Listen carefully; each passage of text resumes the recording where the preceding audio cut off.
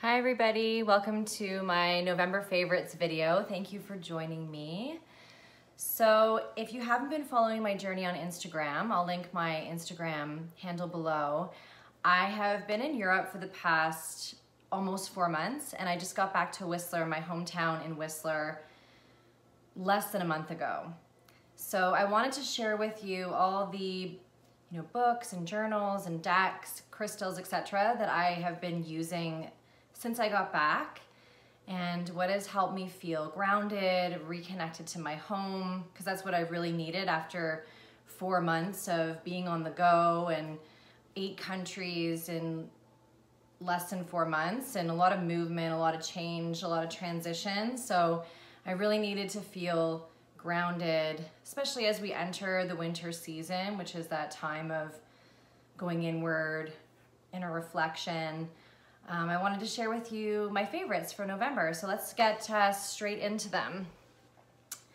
So the book that I've been reading for since I got back, so I think it arrived probably a couple months ago, but I got back about around the middle of November. So I started reading this a few weeks ago, and um, she is one of my favorite artists of all time. I've been following her journey since I was 20 years old, I think, around 2021, and I think we're around the same age. And uh, since then, her career has really blown up. Alicia Keys. So she came out with um, an autobiography this year entitled More Myself. And um, I'm not finished this book yet. I've just, um, just started reading it. It has a really nice feel to it. I think it's really beautifully done. I love the photo of her on the front. She just has this like carefree sense of uh, this is me, this is who I am, and um, I don't need to prove myself to anybody anymore. And I feel like this book is, uh, so far what I've read, it's, um, it's um, very relatable. She um, shares a lot of stories from her youth and challenges with her family and her relationships and sort of her building blocks um, to success and um, her own personal experiences and challenges. So um, yes, Alicia Keys, More Myself, has been on my reading list this month. Also, she had a new album that came out a few months ago as well, and it's self-titled Alicia. It's my favorite album of hers so far, I think. Like, I mean, I've been following her for years and years and years, like I said. And uh, it's just, I feel like I've been following her journey. I feel like my journey is very much in alignment with hers. And um, we seem to be in a similar places throughout our 20s and 30s. And uh, for me, this has been a year of really uh, stepping fully into myself and releasing all that I don't need in order to do that. And I feel like this book is, um, is very relatable. So yes, so Alicia Keys, More Myself. It's like less than 300 pages. It's a really easy read. Um, if you've ever been connected to her art um, or anything she's done, she's an she's a, an activist in many ways. If you're connected to her, or what she has to say, I would recommend reading this book. I'm enjoying it so far. And checking out her album, which is self-titled uh, Alicia. It's a, it's a, it's a beautiful album.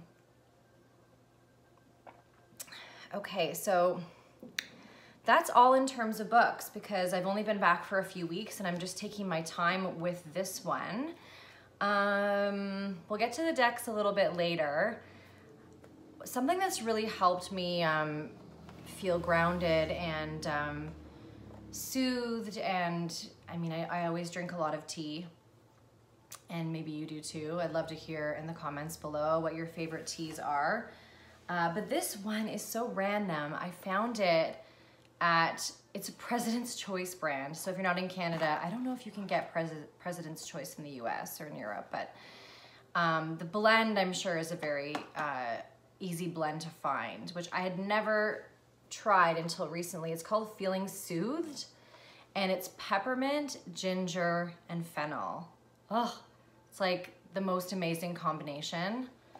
I just, um, sometimes I find ginger tea a little bit too strong and agitating to my system. Uh, whereas the peppermint adds a little bit of a cooling factor, and so does the uh, the fennel. I feel like the fennel is so great for your for digestion and just feeling relaxed. And uh, so yeah, this has been uh, a favorite for the month of November for me, feeling soothed. In terms of uh, personal care products, so like I said, I was in Europe for almost four months and I ran out of my Canadian products, so I had to experiment with some new brands when I was over there in terms of personal care. And I'm gonna share this with you just because I absolutely love it. I don't know if you're gonna be able to get it, I'm sorry, in uh, Canada, Canada or the US, but it's this Swiss brand called uh, Zoe Ultra Sensitive. And it's just a daily face cream. I use it day and night. It's in German, so you won't be able to read that unless you read German, but it says it's made in Switzerland. This just, it is so hydrating, but at the same time, it's really firming. So it feels like it gives my face almost like a little bit of a lift when I use it. So, I mean, if you're in Europe and you can get your hands on this and you're looking for a new uh, night cream or day cream, this has been, this has been wonderful. And I just want to say um, as well that I've paid for all these products myself. I'm not sponsored by anyone. These are just my personal favorites. So I wanted to share this one because this you can buy in Canada and it's um, another face cream that I love. I just feel it goes on so smoothly, smoothly. And it's made by a, a company called Pacifica and it's called Dreamy Youth. You can see that. And it is just, it goes on so silky smooth. It's so nourishing and hydrating. It says it's for all skin types. It's um, It says deeply moisturizes, promotes a lifting effect. So I guess I like that deep moisture with lift because both these creams have that effect on my skin. So yeah, Pacifica, this has been, this is like a dream to put on at night before you go to bed as part of a really um, beautiful self-care routine. I just like spray some lavender mist on your face and then this cream, yeah, it's heavenly. Okay, so I wanted to share that. And if you have any skincare products that you love, please feel free to share them with me down in the comment section below. I'm always inter interested in trying new things. Okay, so let's move into some more um, healing, self-care, grounding um, items that I used in the month of November. Okay, so first of all, like I said, when I got back from traveling, I needed to feel grounded. I needed to feel rooted in my in my body, in my home, in my hometown. And um, so I was working with this beautiful piece of hematite and maybe you've worked with hematite before. This is a quite large piece. I love it because I can sit with it in meditation, especially if I'm feeling anxious or, you know, just like in my head, like very heady. This is a really great crystal for bringing you back down to earth and helping you feel rooted and connected. So um, yes, hematite, this has been my savior. I love it. I love having it by my bedside table as well. The, um, the second crystal that I used, that I always use, but I wanted to share is um, this amethyst crystal. And amethyst is, I mean, it has many, many properties and benefits, but I use it for protection. So I feel like because I'm in this sort of more fragile space, or I was when I um, landed back into Canada, I needed to protect my energy. I needed to feel like, okay, I need to focus on myself, focus on grounding and reconnecting. And I, I you know, I can't be exposed to all these um, draining energies. So what I, I use this for, uh, well, I use it actually at my bedside table. So at night before I go to bed, I find that I feel watched over by my guides, my angels, when I have this beautiful crystal at my bedside table. It's just a, an energetic reminder that I'm protected. Um, but I also use it in sacred ritual. I use it on my altar. Sometimes I carry it in my purse if I'm going into a situation where I might feel like I'm gonna be energetically drained. Amethyst, the protective stone. So I'll show you again what it looks like. All right. And those are my two crystals for the month of November. What next? What next? Oh, yes. Okay. So I have been doing a 30 day meditation sacred ritual called Walking with Mary. And I'll link uh, the website, if I remember, in the comment section below, or rather in the description below. And essentially, what it is, it's 30 days of connecting with the Blessed Mother in her many forms. And so, not Mary in a religious sense, not connected to Catholicism, but Mary in terms of the Divine Mother and her many forms. And um, so far, we've been working on um, the element of water, element of fire. And this is sort of more into December, but I wanted to share this because I was using this in November as well.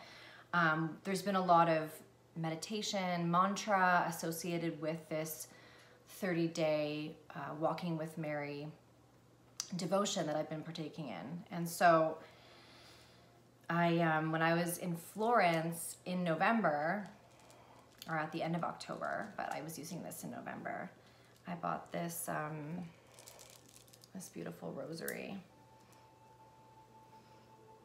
And so it looks like it would be like really heavy, but it's super light. I'm actually not sure what it's made of. I asked the man at the store, but I can't remember now what it's made of, but this is a wooden cross. And it's just, it just feel like I'm a tactile person. And when I'm reciting mantra or prayer, I just, I love the feel of these beads uh, between my fingers. And I want to say as well that I don't use a rosary in a traditional sense. Um, maybe sometimes I do. I'll recite Hail Marys in my own way um, with my own words, but I, I more use it to connect to the energy of the Divine Mother, like I said, in her many forms and with these different prayers and meditations that we've been doing, as well as my own prayer, meditation, and sacred ritual practices. So, um, yeah, this has been like such a beautiful addition to my altar.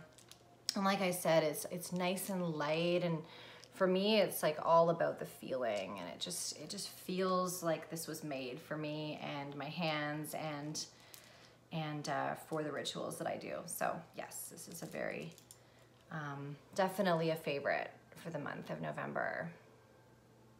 Okay. It's really nice going through all these items with you because I feel so connected to them and it's nice to, every time I pick them up or feel them, it reminds me of my connection to what I've been sharing with you. Okay. So we'll get to decks in just a moment. Oh yes, this is relatively new to my um, journal collection. I have purchased a new journal and for me it's the same thing. It's all about the feeling. And so if I'm drawn to something, I um, it has to be like the colors, the art, the the feel of the paper, uh, and, and for me this journal this journal really does that. It's the Nature Whispers um, Writing and Creativity Journal. Isn't that a gorgeous cover? So beautiful and it's uh, it's by Angela Hartfield, and the artwork is by Josephine Wall. And it's just it's one of those journals that it's just it has it has photographs within the journal and quotes. You can see that there. Like, look at this gorgeous artwork. So it has that very enchanted forest feel and I'm very connected to that energy, the energy of the trees, the energy of the fae, the magical forest. That's so pretty. And there's some quotes in here. Oh, this is like in the middle of the book. And I got this at um, at the Oracle at my local metaphysical store. So if you have local meta metaphysical stores in your neighborhood, this is the time to check out what journals they have in because they usually get in a lot of journals for, for Christmas. I'll show you one more. Look at that, so gorgeous. So for me, like seeing this type of artwork really inspires my creativity. So if I'm writing poetry, if I'm creating something for a project that I'm working on for my business, um, this to me is just pure inspiration. And I'll just, I'll read to you one of the quotes. Let's just flip to a random page. Okay. Nature does not hurry, yet everything is accomplished. Lao Tzu. So yes, oh, this is uh, my favorite new journal, Nature's Whispers. Okay, I think we're gonna move on to the decks now. I actually did use quite a few decks in the month of November um, because like I said, I was I was in Europe and then I came back to Canada. So different places, different needs. Um, and plus I got a couple of new decks in the mail when I was away. So I was excited to uh, dive into them when I got back. Okay, so uh, I'm gonna start with this one. So at the beginning of November when I was in Switzerland, I was called to work with this deck almost daily for daily card draws.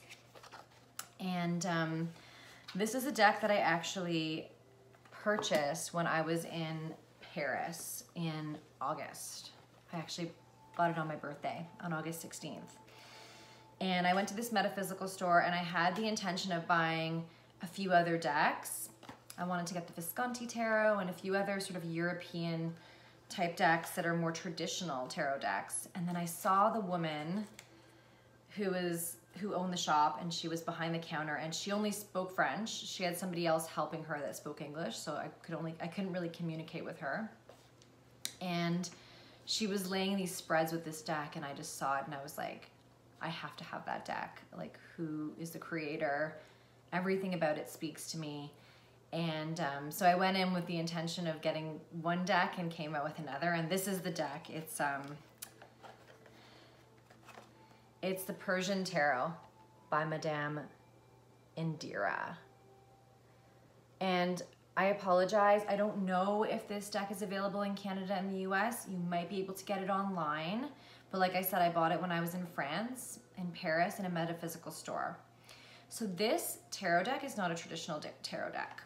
I actually don't know if it follows a system. If you are familiar with the system that it follows, let me know in the comment section below. But um, this deck is, look at it, so gorgeous. It's a 55 card deck. So tarot normally has 78. But look at these images. Oh, I just love. Okay, the peacock. And immediately I connected with this deck. It comes with a really small little white book. Um, and I did have a look at this that book initially when I got this deck, but um, now I just, uh, I read it intuitively.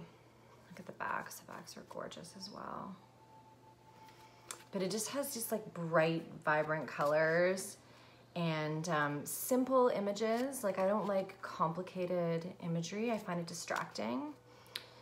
Um, but uh, I get some really uh, clear messages with this deck, but I don't find it confronting. I find it pretty gentle. It has like a gentler energy. So yeah, this I was working with, actually working with quite a bit August, September, September, October, and the beginning of November, but interestingly, since I got back, I haven't really been working with it, but I wanted to share with you because I definitely used this when I was in Switzerland at the beginning of November. Okay. So Persian Tarot by Madame Indira. Okay, so what's another deck that I have been working with? Okay, so another deck that, well, a deck that came to me when I was away. And I ordered it when I was in Switzerland. And uh, I saw somebody do a review of this deck I saw a couple people do a review on Tarot Tube and I was like, I have to have this deck. Like everything about it spoke to me. And um, if you don't know, I work with angelic energy, and that's actually how I started my journey working with angel cards, oracle cards, connecting with the angelic realm. And so when I saw this woman who I actually hadn't come across before on YouTube, she did a review of this tarot deck, and um, it's a, basically a tarot deck that helps you connect to the angelic realm, and it's called the Influence of the Angels Tarot. I believe this is US Games. Um, it says it's by Jody Boginski, Barbessi and Karen Boginski. I really hope I didn't um, mispronounce their names. Yeah, it's US Games. And it does come with this um, with this great little book if you're looking, if you're new to tarot and you want to connect with uh, the um, the angelic realm and uh, the messages from the angels because each deck or rather each card has an angel in it and each um, card has a really really thorough description as well as an angelic message at the bottom there so I really like that but um, initially when I started working with this deck and I'll show you the deck I was I was working with it using the guidebook and now I'm just working with it intuitively. So these are the backs, such gorgeous backs. And also it has this like stunning gold gilding. But um, here, I'll show you a couple of the cards. Uh, for me now, I've lately just been working with this deck. Oh, such a gorgeous. I love the borders. I know some people have cut off the borders, but personally, I really, I really like it. Look at that King of Wands. Yeah, so for me, I get really clear messages from this deck. Um, but again, it's, it is a bit gentler. It's not confronting, it's not scary, it's not, um, yeah, it's, it's, uh, it's like gentle nudges. So yeah, I've been working with this one quite a bit, almost daily. And for me, because I already have a strong connection to the angels and what they represent, what their energies are on an individual basis, I like that there's some of the main archangels in these cards because it um, it it sort of provides like a story for the card through an angelic lens, which I really like. So yeah, this is the influence of the angels tarot. Influence of the Angels Tarot. Okay. What other decks have I been working with? Okay. Okay, well, oh yes, okay. So this is my soul oracle deck. It's a mega deck, which is Kyle Gray's Keepers of the Light Oracle and his angel prayers archangels, just the archangels from the angel prayers deck together. So you can see it's two different decks combined. And this one for me is just like a comfort deck. Like I get really clear messages. I have a really strong relationship with these cards. I feel like they speak to me. I feel like they know me. And um, I usually just do one card draws with this deck or maybe um, strength heart challenge, like a three card draw. But as you can see, there's uh, Ascended Masters, there's Archangels, um, Mary Magdalene.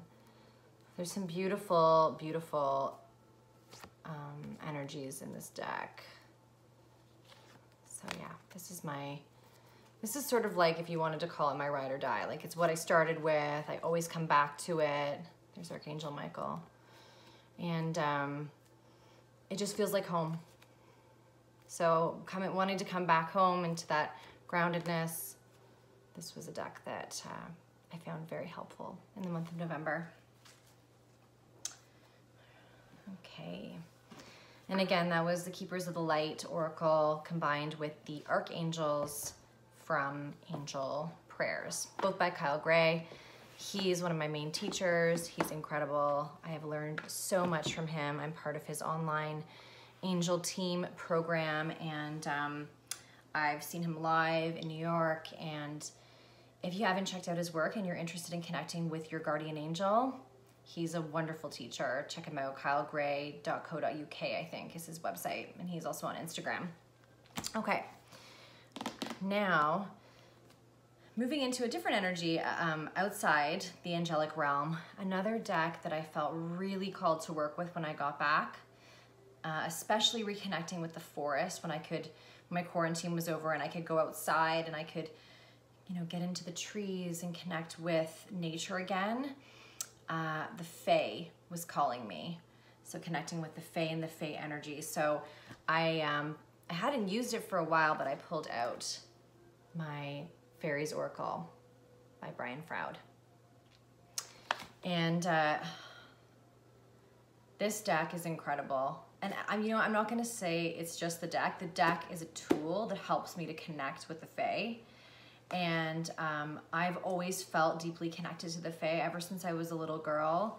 Um, that energy has always resonated with me, the magical forest, the enchanted forest, the Fae, and um, I'm just gonna show you the deck here and some of the cards. But um, I, I find with this deck, I usually use the guidebook because the guidebook is amazing. This is the guidebook that it comes with. It's like a hardcover and um, it's like, as you can see, I like have so much highlighted in it. It's just like it has full descriptions of the cards and this deck for me is definitely more confronting.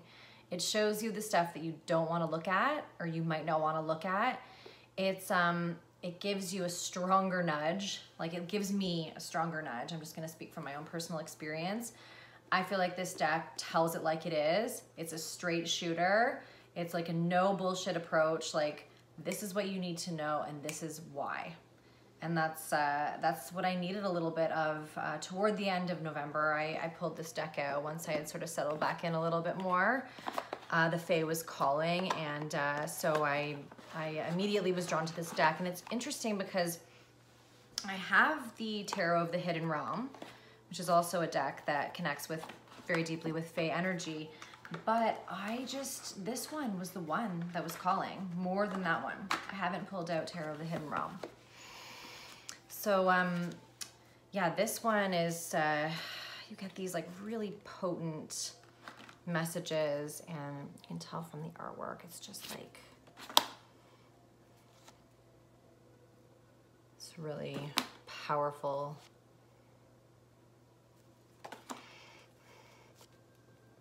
and you can read this deck intuitively. I mean, I have read it intuitively and I still get those really um,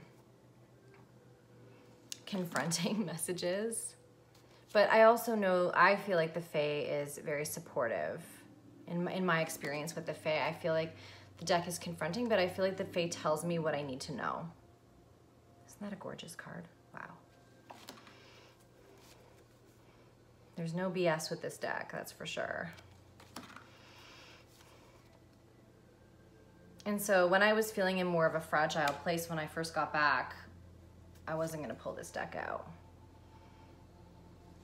And I felt in a more rooted place, that was when it uh, came out for me. I'll show you a few more.